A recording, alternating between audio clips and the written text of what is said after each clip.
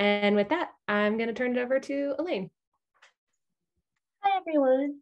Just to start things off um, and have a little icebreaker, we have a couple polls um, just to get familiar with everyone's experience uh, working with food, don food donors on and off campus. Um, I'm just gonna launch our first poll. So the first thing we'd love to know is um, what is the state of your chapter's food recovery program this semester? So is it operational at all this semester? Is it operating in a limited capacity? Are you not able to operate? Um, awesome. So it looks like everybody has responded. Awesome. So it looks like um, we have kind of a mixed bag. It says that 60% of people are operating in a limited capacity this year. Um, just 10% of responses are that your chapter is not able to operate at all. And then 30% of people said that their chapter is fully operational. So it looks like we've got a good mix of things. Um, we heard before this semester started that 75% of our chapters intended to record to recover food this academic year. Um, but we know that a lot of people have been facing challenges to do so. Um, for example, there's been a lot of challenges that chapters have faced with getting in contact with their dining services, um, whether that's because there's been staff turnover or they've just lost contact with the dining services during the pandemic. Um, and a lot of partner agencies are no longer accepting prepared foods or having other operational changes that have um, caused difficulty for chapters. So I'd love to hear if anyone in this call has experienced any barriers like that this year. Um, and feel free to go off mute or to drop an answer in the chat if that's something your chapter has experienced. Hi, I yeah, I can get started. Um, so, fun fact we actually are operating with less donors than our pandemic era, which is quite surprising. And a main reason for that was um, we had four donors in the pandemic, um, but we lost all of them just before the semester because of changes in their management. Uh, quite a bad luck considering that all of their uh, changes happened at the same time. So we basically had to restart those relationships and uh, we got two of them back uh, after like contacting them and pestering them for a month, visiting them in person.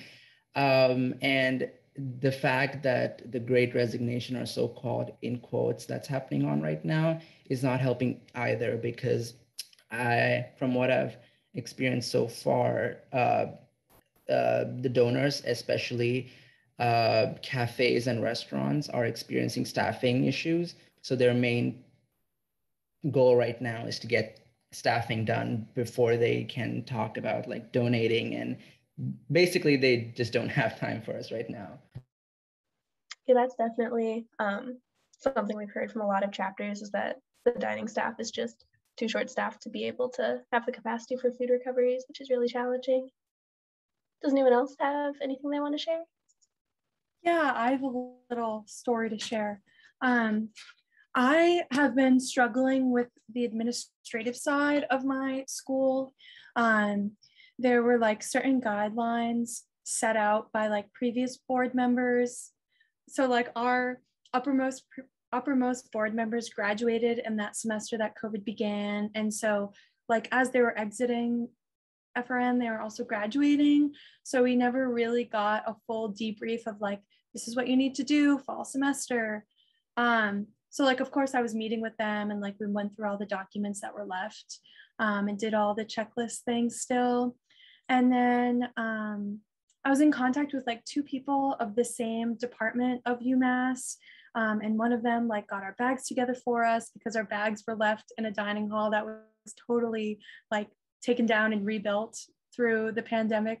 Um, and she was like incredibly supportive of getting our bags getting us up and running getting our trainings together.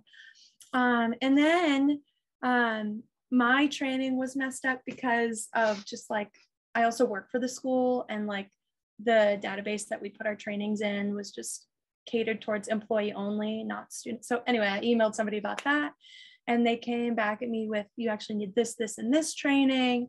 And they are ServSafe trainings that we usually do by the December of each fall semester. And in the meantime, we do these environmental health and safety trainings for the school. Um, and then like 24 hours before our first recovery is supposed to begin, I got an email from this person saying, actually, you need the ServSafe training, which cost $180 to do um, outside of the school and doesn't run within the school until December.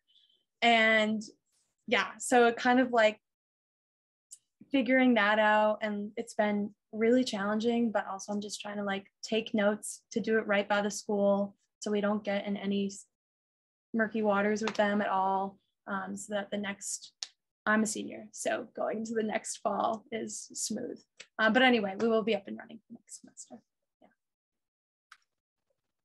I'm sorry to hear that. That's really challenging. That's definitely um, a common problem with just like the transitionary period as people are graduating during the pandemic and information just gets lost in the mix. Um, I will note FRN has a partnership with a company called Always Food Safe, um, which isn't the same as ServSafe, but they are um, like a similar industry standard for food safety training. And so we have, um, I think it's the food handler certificate, um, and we can give you an access code to complete that training for free, um, and anyone in our network can take it for free. So um, you might be able to bring that to your dining staff and offer taking that instead of ServSafe, if that would help. Yeah, that sounds really awesome because we did have like a food handler training um, that we always did through the school. Um, and it's like I couldn't reach a compromise with this person. So I will definitely email her with that information and see see if that'll do it for the meantime. For sure. Good luck. Awesome. Yeah, so that was always food safe. Um, and if anyone's interested in learning more, you can definitely shoot us an email at programs at foodrecoverynetwork.org. Um, and Aaron, if you wouldn't mind to drop some info in the chat as well. We also got a comment. Um, one issue is that we, or our issue is the regulation at our dining halls and restaurants has been very dynamic and continually changing it's been really difficult to get a consistent recovery going. Yeah, so that's been really hard with all the turnover with dining services. Definitely a common issue for chapters. Awesome. Well, I'm gonna bring us along to our next poll question. Um, so our next poll is, does your chapter work with a food donor off campus? Um, yes, no, or I'm not sure. Um, so it looks like we've got most of the results in. Um, and right now it says that 78% of chapters do not, and 22% of chapters do. So definitely majority of chapters are not working with food donors off campus. So if you did answer no to that question, um, if you have any questions that you want to ensure that we answer today about working with food donors off campus, um, please share that in the chat or take yourself off mute in a second. Um, and then for those who answered that yes, your chapter does work um, with an off-campus food donor, do you have any advice that you'd like to share with our chapters that are interested in working with off-campus food donors? And you can also drop that in the chat or take yourself off mute. Yeah, so I can talk about that. Um, so my chapter, I'm from California State University Northridge, and I'm currently the president of Food Recovery Network. And right now we're doing um, off-campus recoveries with Peet's Coffee.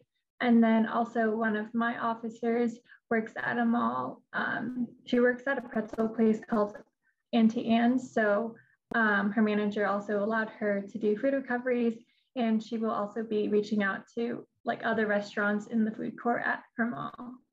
So um, kind of just like a tip if you guys want one is there's a bunch of like times where you would have to call a lot of restaurants or bakeries, depending wherever you want to recover.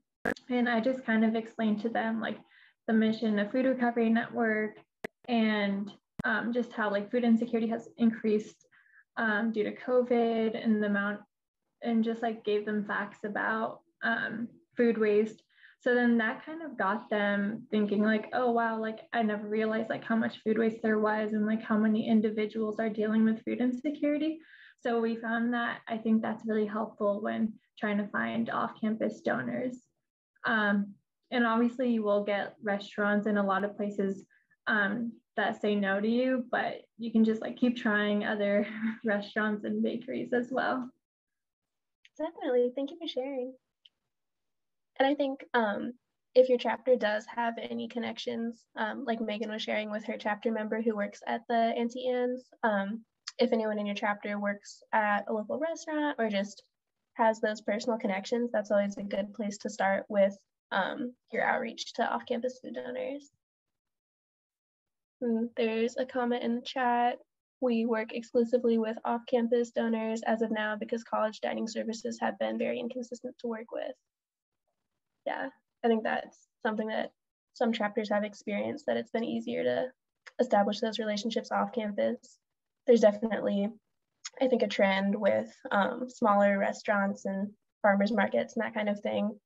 Like the smaller scale the food donor is, the more they can set their own rules. Um, whereas for your on campus food um, dining services, they might have more like strict regulations they have to follow. Yeah, and actually, if I can add a quick tip for those who are wanting to explore off-campus options, um, we often ask our uh, club volunteers or club members um, if they work in any like restaurant or cafe around campus, because that's always a good way in to that place. And also, um, we always keep on going in person because e- email just does not work. We never get a response. And if we call people up, they just be like, okay, just email us and we'll look into it. So our best option has been to like just go in person maybe like three or four times until we get a face to face with the manager. And um, once we get a response from the manager, then uh, we can move from there, whether it's a positive or an excuse me, or a negative response. Definitely, that's really good advice. Yeah, hardest to say no when you're face to face with someone, I think. Awesome. Well, if anyone else has any ideas um, that you'd like to share, feel free to comment those in the chat. Um, but I'm going to move us on to our presentation section today, just in the interest of time. Thanks so much, everyone, for sharing. That was really helpful and great. And I think we'll circle back to some of those ideas as you know, Elaine and I move through uh, this presentation portion um, of the conversation today. And again, to reiterate, like Elaine said, feel free to continue posting like comments or thoughts, um, advice into the chat for everyone too. Um, so, working with food donors off campus. Uh, so, again, I just want to remind you all that um, we've updated our guide to food recovery, and this walks you through different stages of establishing a food recovery program. And some of it might feel repetitive uh, if you've, you know, been in charge of getting that process up and running on your campus. But I think it's good to kind of go back to the basics when you're thinking about starting a new relationship because there might be some nuances or some ideas in there that are a little bit different um, that you might want to take advantage of. So definitely recommend that you use it as a tool um, continuously. And I know that we'll kind of highlight some different areas of the guide uh, just to help inform our conversation about how to work with food donors off campus. Um, and again, you can just apply this information to support your chapter's goals. Um, so we're just going to walk through some basic steps and talk about, you know, some common questions I think that folks have when they're starting this process. But of course, you know, if you have questions, definitely ask. so, uh, step one I mean, you're thinking about starting a new relationship. How do you even know who to reach out to? Where should you begin your search? Um, my personal recommendation, just based on experience working through the Food Recovery Verified program, is uh, thinking about this in a few different ways. So, one, approaching large food waste generators. So, some of you are already working with your dining service providers. Colleges and universities are what I would consider to be a large food waste generator. They're just very big establishments that are producing a lot of food producing food on a mass scale to feed a lot of people, but we know that they're not actually feeding as many people every day that they are preparing food for. Um, and so some other examples of, you know, large food waste generators are grocery stores, uh, hospitals, hotels, uh, entertainment centers like malls, if you're thinking about food courts. Um, and I know that Megan kind of touched on that with the Auntie Anne's pretzels. So uh, definitely all of these are, are opportunities where surplus food commonly occurs so it's good to think about, you know, impact how can we recover the most food? These are some folks to start with. Oh, and farms. I didn't mention farms, but if you are in a more rural area, there is so much food that goes to waste on farms, unfortunately, just because, uh, you know, if it's labor cost or it's imperfect produce, sometimes it's not worth the cost to the farmer to harvest. Um, and so in those situations, gleaning is a potential opportunity. Um, so that's that's one way to think about it. Uh, the next way to think about it is like if you're in a really tight knit community and there are values driven establishments that you know about, like companies that have you know uh, some kind of like an indication that they care. They're doing something extra already to serve the community. They care about the community or they're like more community centric, like a local coffee shop, something of that nature that kind of a business is already more inclined to participate in a program like this because they understand um, you know what the impact could be from a social standpoint and an environmental standpoint in your community. So i think approaching some groups that might be smaller but that really care about how they're interacting with the local community is a good idea. Um, and then i think like viraj mentioned personal connections. If you or any of your friends or family members work at you know a local restaurant or even one of the the kinds of establishments that i mentioned before you know utilize those connections to help get you in touch with the right person um, to talk about a food recovery program. Um, all of these are you know different pathways that you can take to start to think about who you might want to work with as a chapter um, but i think it's a good place to start when considering who you're even considering to connect with and to work with yeah, so then um, the second thing to consider when you're um, starting to look for an off campus food donor um, would be partner agencies. So it's really important to keep a couple things in mind. Um, for example, it's important to think about which organizations in your community might be in need of surplus food. So if you can direct that surplus food to the partner agencies that need it the most, that's really important. Um, and it's important to think about like in logistical considerations, what's the capacity of your partner agency to accept uh, food donations? So, for example, do they accept the type of potential food donations from a food donor? Um, like, do they accept prepared foods? Are they able to accept, um, I don't know, like foods that they'll need to repurpose into meals, or do they need things to be already um, packaged into meals? Um, so when I was a student, I actually worked with a chapter at Western Kentucky University. Um, and this was a really big consideration for us. We had a couple different food donors. So we would work mainly with on-campus um, smaller cafes like um, Einstein Brothers Bagels um, and Subway. We also worked with the local farmers market and one small farm. And so when we were um, considering where we were going to bring our food donations, we had a couple different partner agencies we worked with. And we always had to think about which partner agency was able to take, for example, if it was a large quantity of one type of produce from a farm, um, could all of those partner agencies take it or would it be overwhelming one partner agency? Um, and it's also important to think about open hours for your partner agency and when you would be accepting food donations from your food donor and making sure that those line up as well. Yeah, I think it's kind of like a you have like your two lists of like food donors, partner agencies, and you're kind of like matching to see what works. um, so I think once you you know establish that foundation, uh, knowing who you want to reach out to about donating, and then knowing who the potential recipients can be, that's when you can really start to build your case for food recovery um, you know, it's all about I mean, and I hate to say this, but kind of like marketing. like, how are you talking about the program that you want to establish? Um, are you giving a sense of like security to that food donor? Uh, you know, being able to speak to liability protection, um, talking about your expertise in food safety. These are all different components that kind of go into that messaging to make sure that somebody feels, you know, confident um, and comfortable working with you and being a partner with you. Um, you know being able to address those kinds of questions i think is really important. So just a few things to keep in mind when you're starting to have these conversations. Um, you know introduce yourself and share your mission. Um, it could be as simple as you know we're a local volunteer group and we operate under a national level organization uh, to help ensure that surplus food is donated to feed people in need. Or it could be something you know more tailored to your chapter at your school uh, however you want to package that i think having like a succinct mission statement is important.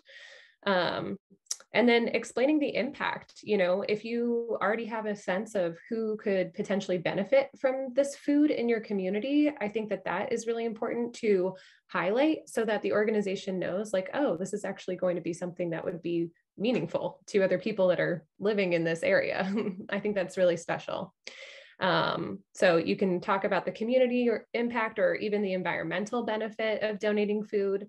Uh, and then, like I said, explaining the liability protection. And I think that everyone here should know that we have resources on our website um, under our student resources page. If you're not familiar, if you want the links to the uh, Bill Emerson um, Good Samaritan Food Donation Act. And that's the federal level liability protection for all food donors um, it protects them from liability when they donate surplus food in good faith to a 501c3 nonprofit organization.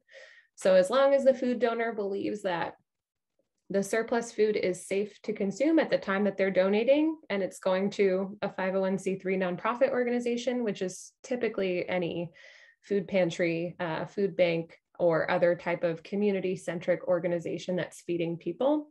Um, and you can always ask if you're not sure uh, but they're covered from liability protection, and that's at the federal level. There's also state level protection uh, that mimics federal level protection in most states. Um, and I, I can recommend a link for you to check out the, the specific policy in your own state. It's um, if you're all familiar with ReFED is the organization, but they're a great resource for data and statistics on, on food loss in the United States. Um, so they have a policy finder on their website. So if you just Google ReFED food policy finder, it should pop up and then you can just search by your state. They have a whole list of the, the protections and it's really well laid out, very clear. Um, so I recommend kind of going in with both of those in your back pocket when you start to have these conversations, um, just in case they have questions and share the information with them. Um, and then food safety. We kind of already touched on this. Uh, I'm very excited that, you know, Always Food Safe has offered this free, you know, accredited professional level uh, food handler certification to our network um, because they're just so thrilled about the work that all of our students are doing. Um, so like I mentioned in the chat, I just posted a blog on our website about this. It has the code that you need to access the course. Um, so definitely check out the blog post. Um, and that's also, you know, in addition to the food safety resources that FRN provides. Um, so that's also awesome. Um, so the next step would be um, planning your outreach to potential food donors. Um, so it's really important to be prepared when you go to talk to off-campus food donors um, and make sure that you're coming across um, professionally um, and making it clear that that you'll be a good partner for them and reliable. So it's important to think about what you want to say when you're pitching a partnership um, and how you'll do it. So we, as we've been mentioning, are relaunching our food donor guide or our food recovery guide and in our food recovery guide, we actually have a really detailed script and FAQ section um, that can help you practice and prepare and guide that um, conversation with potential food donors. Um, and there's a couple different ways, as we've talked about, that you can reach out to um, food donors. You can email them, call them, or visit them in person. Um, in my experience, I found that a combination of multiple or all of those methods with each food donor is most effective. Um, so when I have been able to establish partnerships with food donors in the past, I'll generally send them an email. Um, I don't hear back from them, I'll call them, and then I'll also visit in person. Um, and I found the most effective combination has been working with people with whom I already had a personal connection, sending them an email beforehand so they were kind of prepared um, and aware of what the concept of food recovery was um, and how it would work with their establishment. And then I would go and talk to them in person and kind of work through all those logistics. Um, but it's important to practice beforehand, make sure that you're dressed professionally. Um, and you can definitely partner up with other members of your chapter and um, go in groups because um, it's always helpful to have power in numbers. Um, and also it's great to have a follow-up if the potential food donor agrees to partner with you. It's really important to reach out to them and thank them um, and just thank them for their time, answer any questions they have. Yeah, and I think like oftentimes you'll get a no at first, but if you keep following up with folks, it might turn into a yes. So I would say be persistent. And it also kind of shows how much you care um, and that you're accountable. You're still, you know, circling back with them. You didn't forget. Uh, and that goes a long way when people are considering, you know, starting a new kind of partnership, especially one of this nature. Um, so some other things to consider when you're thinking about these kinds of partnerships is logistics and planning. Um, so, you know, thinking about what's the kind of schedule that your chapter is actually capable of committing to um, you know when you're working with a new food donor being very honest about what your capacity is. So like let's say you guys are only able to do one food recovery per week um, instead of you know like five. Let's say it's a grocery store and they're like we need to pick up every day then. You're going to have to be honest and say we're actually only able to pick up on certain days of the week at certain times because of our schedule as students. Um, so I think being very clear about what your availability is. Um, and also, I mean, with that, like what kind of transportation do you have access to? I think that that's going to be another kind of logistical question that comes up. Um, and so if you're you're chapter that lacks, you know, a personal vehicle um, in some capacity, start to think about what other kinds of options you might have. Um, if your school has vans that you can rent out or get access to to use on specific days when you know you're going to have pickups. Um, if you want to invest in like a Zipcar membership, um, or if potentially like other kinds of rideshare options are available to you, those are all kinds of things to think about. Um, I think even before you're going in to meet with these food donors, making sure that it would be the right fit for you and your chapter, you know, prior to reaching out and making that connection. Um, and then also thinking about, you know, how many volunteers you might need and how you intend to communicate with volunteers to schedule pickups. Let's say that it is a more complicated type of partnership where it's, you know, multiple days of the week you need to pick up from this food donor and deliver to your partner agency. Um, you know, is it going to be a set schedule for everyone every week? Do you need to have some kind of like group text system where you're like, okay, Thursday we need somebody to commit to pick up? Um, I think again, thinking about the accountability piece is really key. Um, these food donors are then counting on you, and so are the partner agencies. So you want to make sure that you're you feel like you're covered and um, you've thought about some of these logistical questions in advance. And then once you've set up a partnership with an off campus food donor, it's really important to think a lot about how you can maintain a strong partnership um, and keep the relationship really strong. Um, so definitely it's good to think about scheduling routine check-ins um, to provide and receive feedback, make sure that the logistics that you have and the schedule you have in place is working out um, and that your visions for the partnership are aligned.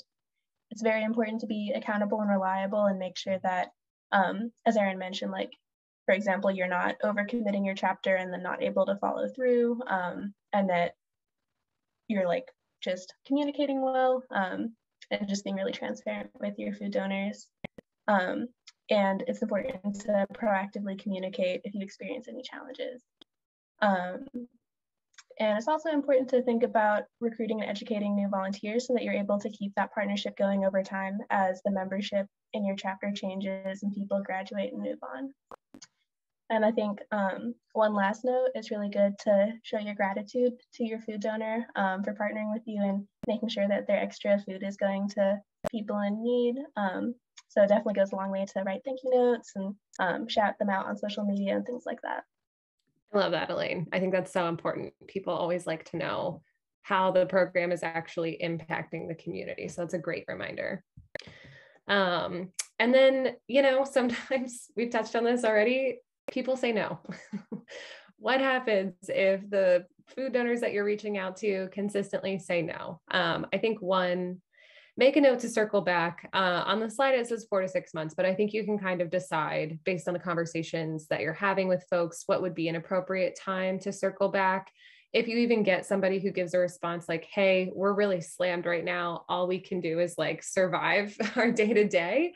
So I would love to do this program with you at some point, but it can't be right now ask them when an appropriate time to follow up might be. Um, and if they don't give you an answer, then I think you can kind of decide for yourself, like, okay, maybe in like three months, or if they're really struggling, go with the four to six. But I think it just depends on the business and and what the um, what the situation might be. But either way, follow up, be diligent. And even if it's just like a, hey, I was just thinking about, you know, your business the other day, I walked past your store um, just wanted to touch base and say that you know i'm still available to have the conversation whenever you're ready about how to donate surplus food and leave it at that. Um, and then i think you know also consider if you really can't work with a food donor right now you know FRN National has some other opportunities for your chapter to continue to activate even if it's not necessarily in the way that you planned. Um, one program that I am, you know, so jazzed about. I love it. I've been working with this group for over a year now, and they're amazing. Um, is volunteering with the FarmLink project. So this is another student-led organization that popped up uh, at the beginning of the pandemic in March 2020. And these students were just responding to, you know, all of those articles that were popping up about food loss and food waste happening on farms specifically when, you know, the the pandemic really um, destroyed a lot of the supply chains that were we had going uh, and so they they took action they organized really quickly and they scaled really quickly. So the farmlink project in just a year and a half has donated more than 34 million pounds of food from farms across the country to local organizations which is incredible. I mean it's amazing. And actually some of our volunteers from our network have been a big part of that process to help support them. Um, so we host virtual power hours with the FarmLink project. And so we host either research hours or calling hours, but this is a virtual opportunity you can join from anywhere. You could join as a chapter. Um, it's kind of fun when you have like a group of people. I actually just did a power hour with my sister and my partner, so we had a we had a good time. Um, but essentially, you're just joining an hour long Zoom call, and you're either doing the research side of things or you're making phone calls. Um, if you're interested in just research you can email me and i can i can send you the times for just research hours if you're like I hate cold calling it's not for me so that way there's no surprises uh, i can definitely get you set up for a research hour instead um, but i think it's such an impactful way uh, to engage because the potential for recovery is huge. Um, just one hour of your time can result in the donation of over 20,000 pounds of food, which is awesome. So think about if your chapter was giving, you know, 10 hours a semester, the impact would be massive. So highly encourage you all to get involved in that if you can. if not, other opportunities to still have an impact in your community. You could think about fundraising or volunteering for your partner agency if that's ultimately, you know, the group that we're trying to support through these efforts. Um, think about you know what might be helpful to them and you can get in touch and reach out and say hey we'd love to be more engaged and involved in supporting your organization. Are there any opportunities for us to help like fundraise for you? Or um, especially now that it's like end of the year giving season is huge um, or even to offer you know a helping hand especially around the holidays meal service really picks up. People are are looking for that kind of support and so it's a good time to kind of get engaged in a bigger way um, and then we also, you know, encourage you all to think about advocacy or hosting educational events for your campus or for your community. Um, if there's like a local food policy council that you can get involved with, you know, that's another big way that you can have an impact over time uh, by advocating for, you know, just different kinds of policies that can help promote access to food for the communities that need it most. Um, so just a couple of thoughts and ideas, things to think about if it's really not an option for you to work with a donor. So with all that, I would love to open it up to the group. Uh, do you have any questions or reactions? Um, you know, for folks that already work with food donors, is there something that we might not have covered that you think is important and you want to share with the group? I will leave it open. You can unmute yourself or put it in the chat. Yeah, I can start off. Um, I just thought that the PowerPoint presentation was had like a lot of really good tips um, for all of us. So I really appreciated that. And then I also really liked how Elaine talked about the gratitude because I never thought about to like post um, and like tag them on our Instagram about like the impact that they're having by allowing us to do food recoveries with them. So I'll definitely bring that up to um, my club, my club members and officers that we should start doing that as well. Cool. Well, I'll keep things moving. I have just a couple more um, slides to share with you all before I let you go, but we're very close. So thanks for bearing with us. Um, one, I do also want to just remind folks about our food recovery verified program. If you do end up working with a food donor off campus, um, this is a cool option for them to be recognized in a national way. Uh, so through Food Recovery Network, food businesses can apply to um, receive our food recovery verification, which just provides that recognition for their business for donating surplus food. Uh, and they can, you know, be connected to our broader community of other food businesses that are donating.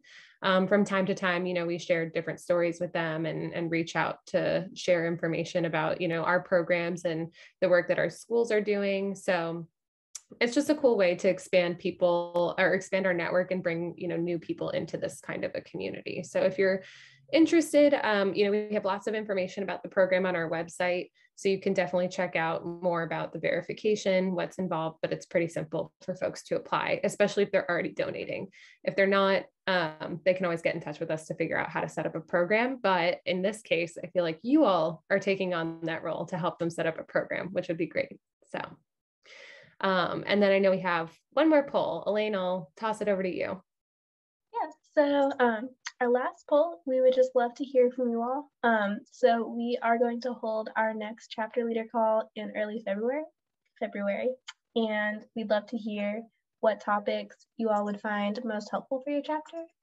So some different topics that we thought might be helpful um, include how to navigate chapter leadership transitions, how to structure your resume to reflect your work with Food Recovery Network, how to get involved with gleaning, how to plan an event or advocacy, advocacy campaign with your chapter, um, how to host an end of semester food drive or other.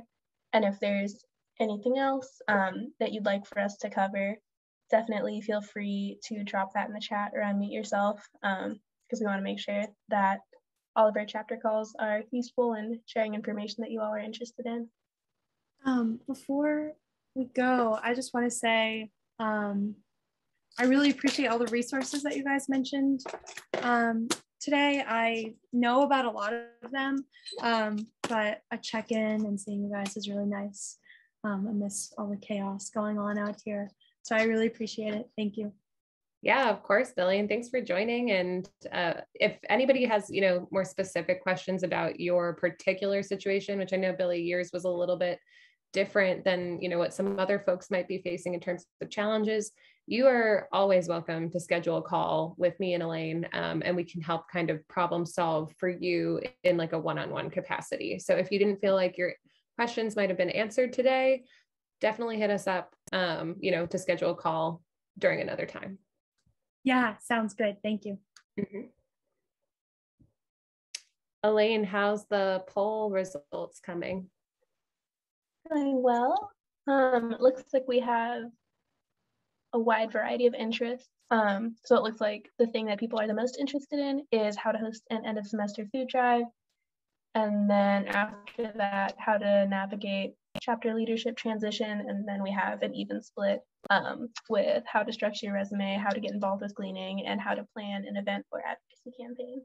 So definitely awesome. good to know. Thank you all for sharing yeah, we'll definitely continue to pull folks. Um, and then I have two quick announcements and then we were out of here everyone. So uh, one end of semester survey. We are sending this out on the 30th of november and this is going to go out to all chapter leaders um, this is a survey that we send out at the end of every semester just for any folks who might not be familiar with this survey uh, it provides FRN National with a lot of important information about our community. Um, we get a better understanding of who, like what students are actually in our network, um, how your chapter is activating, and how we can continue to refine and improve our programs to support all of you.